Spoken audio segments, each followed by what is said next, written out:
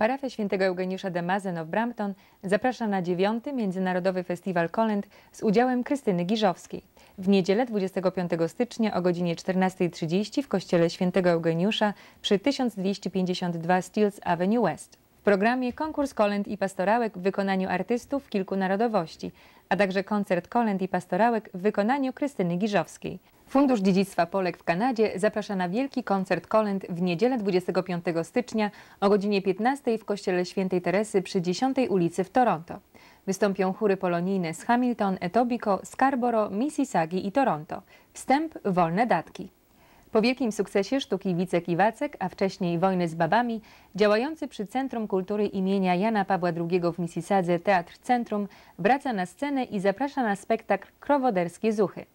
Znakomitej komedii Stefana Turskiego, której akcja toczy się na początku XX wieku w Krakowie, występuje 20-osobowy zespół aktorski oraz uliczna kapela muzyczna.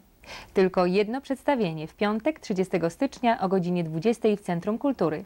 Bilety w księgarniach Pegas i Husarz oraz w centrum. Polski Klub Myśliwski w Kanadzie zaprasza na tradycyjny karnawałowy bal myśliwski w sobotę 31 stycznia od godziny 18 w Millennium Gardens Banquet Center przy 20 Polonia Avenue w Brampton. Do tańca gra zespół Relax. Degustacja dziczyzny, obiad z deserem, loteria fantowa. Główna wygrana certyfikat na 850 dolarów do realizacji w firmie Piast Travel. Informacje i sprzedaż biletów w biurach Piast Travel, księgarni Pegas oraz sklepach Zoria Arts Gifts w Brampton i Joe John Delikatesy w Mississadze. Fundacja Świętego Eugeniusza z nadzieją w przyszłość zaprasza na bankiet charytatywny na rzecz dzieci niepełnosprawnych w sobotę 7 lutego o godzinie 18 w Millennium Gardens Banquet Hall przy 20 Polonia Avenue w Brampton. Do tańca gra zespół Impress. Gorąca kolacja z winem, deser i kawa. Zimny bufet.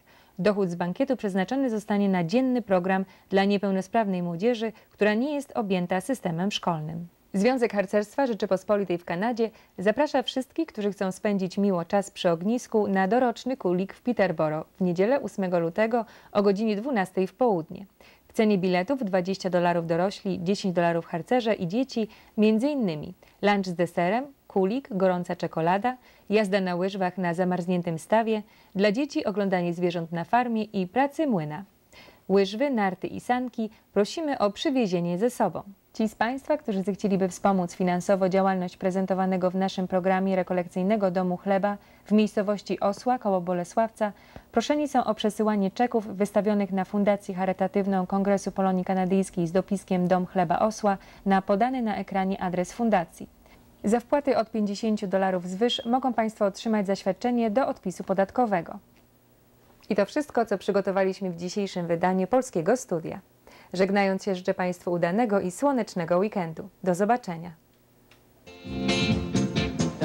Polu stoi krowa, cierpi, bo już pełna mleka. Biegnie do niej Maciejowa, drogą jedzie dyskoteka. Jadą, jadą chłopcy, chłopcy radarowcy. Niebieska czapeczka, przy boku pałeczka Życie takie zna przypadki, jadą sobie za rogatki Staną sobie gdzieś w szuwarach, płocie dziura jakaś para Licznik już notuje, wszystko rejestruje Szybkie przekroczenia, czeka na jelenia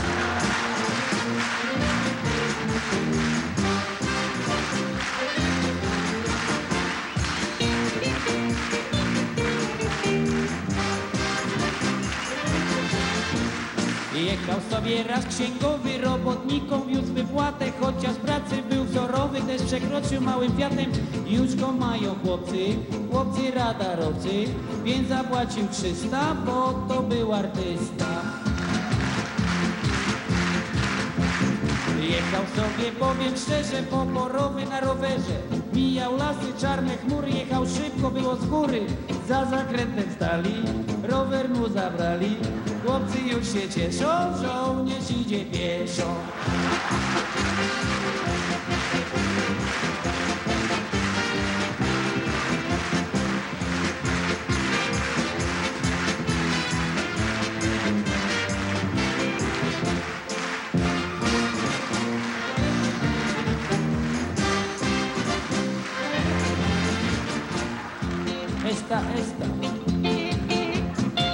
Jechał sobie od Dąbrowy młody, śliczny, dzielnicowy Na motorze w dezabilu, na wycieczkę po cywilu Też go mają chłopcy, chłopcy radarowcy Dostrzegli go z dala, zapłacił górala